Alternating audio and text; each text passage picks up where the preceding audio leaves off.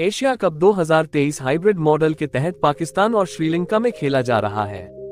भारत, पाकिस्तान, श्रीलंका, बांग्लादेश, अफ़गानिस्तान और नेपाल के बीच 17 अगस्त तक मुकाबले खेले जाएँगे। विश्व कप श्रीलंका इस साल डिफेंडिंग चैंपियन है। जानिए इस साल कितनी है एशिया कप की प्राइज मनी। क्यों बीसीसीआई इस टूर्नामेंट से एक भी रुपए नहीं कमाता है? एशियन क्रिकेट काउंसिल ने एशिया कप 2023 की प्राइज मनी की घोषणा नहीं की है। साल 2022 में एशिया कप जीतने वाली टीम को डेढ़ करोड़ रुपए प्राइज मनी दी गई थी। वहीं रनर अप टीम को उन्यासी लाख रुपए मिले थे। साल 2022 Asia cup T twenty format में खेला गया था। एसीसी के नियम के मुताबिक यदि कोई आईसीसी टूर्नामेंट उस साल वनडे फॉर्मेट में खेला जाएगा तो ये टूर्नामेंट भी वनडे फॉर्मेट में खेला जाता है।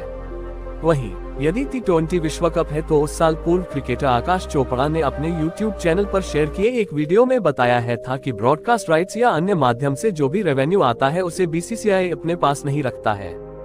बीसीसीआई का जो भी हिस्सा होता है वो एसीसी को दे दिया जाता है। एशियन क्रिकेट काउंसिल इन पैसों के ज़रिए एशिया के उन देशों में क्रिकेट का विकास पर खर्च करता है, जहाँ इंफ्रास्ट्रक्चर की कमी है।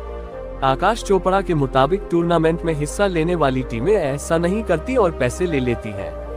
आपको बता दें कि भारत सात बार एशिया कप जीत चुका है।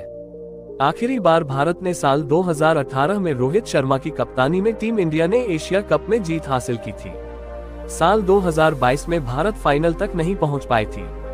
भारत को पाकिस्तान और श्रीलंका से हार मिली थी। फाइनल में श्रीलंका ने पाकिस्तान को हराकर एशिया कप छठी बार अपने नाम किया था।